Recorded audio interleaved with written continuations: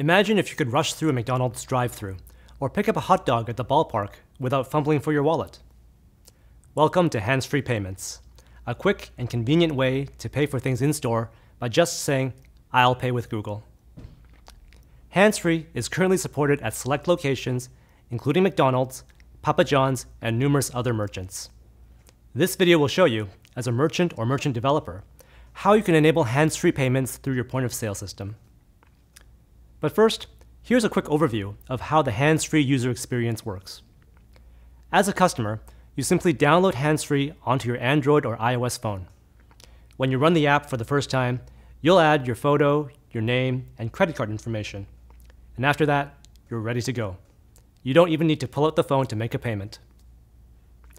Hands-free uses Bluetooth Low Energy, Wi-Fi, and location services on the phone to detect when you're in a store that accepts hands-free. When you're ready to pay, simply tell the cashier, I'll pay with Google. The cashier will then press the Google Tender button. Handsfree automatically verifies your identity and shows your photo on the POS. It does so by using a hands-free in-store camera and visual identification technology. In some cases, if hands-free cannot find you right away, the cashier also has the option of searching for your initials to pull up your photo. Handsfree does not pass your full payment information to the store or the POS. Instead, once you're identified, Google interfaces with the merchant's preferred payment processor to complete the charge. Once the charge completes, you'll get a notification in the Handsfree app as confirmation. As a merchant, here's how you get all this up and running in your store so that you can start accepting hands-free payments. Your Google representative will work with you to ensure that your store's hardware is set up properly to support hands-free customers. This includes ensuring that your POS is connected to the internet since it'll need to talk to the Handsfree API to query and find the right customer to charge. The Handsfree API exposes a number of calls, but they can be separated into two groups. One is for looking, for looking up nearby customers, and the other is for performing transactions on a customer once you've identified the correct person. The first step is looking up a customer. When the customer says, I'll pay with Google, the cashier presses a Google Tender button on the POS. The POS then calls the Consumer Query API to query for nearby customers that are found using the in-store camera for visual identification. Here's an example of what your query request might look like and the response you'd get back. We would return to you the customer's first name, a URL that points to a photo of the customer, and a session token that you can use in subsequent API calls to perform transactions on the customer. Once you have all of this information, you'll need to make the POS display those customers to the cashier.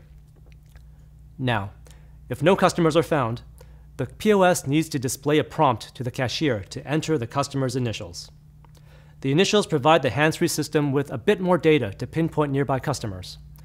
After the cashier enters the customer's initials, the POS should call the Consumer Query API again, this time including those initials.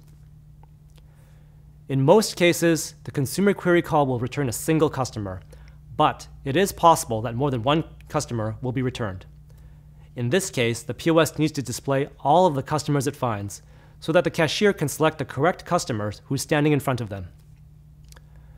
As I mentioned, each customer has a unique session token, and you can use that session token to perform charges and refunds on that customer. To charge a customer, you'll need to use a transaction charge API call. Here's an example of what your charge request might look like. The call is pretty simple. All you need to do is pass parameters such as a request ID, the charge amount, the customer's session token, and optional line item data so that we can show the customer a digital receipt. In the response, we'll return to you whether or not the charge was successful, as well as details such as the charge amount and the payment instrument that was used. On the POS, you'll need to create a hands-free transaction confirmation screen, or just leverage an existing screen to show the cashier the transaction confirmation. Occasionally, some charges require user confirmation. This happens when a risk engine detects a transaction that appears suspicious, and there are API calls to handle these scenarios. There are additional API calls for performing refunds and canceling transactions too, and these are outlined in our full API documentation. This has just been a high-level overview of the API, so if you're interested in setting up hands-free payments, please reach out to us. a Google representative can help get you set up with your own account, access to the full API documentation, and even a reference implementation and sample code to get you ramped up quickly. If you want to learn more, please reach out to us at handsfree at google.com.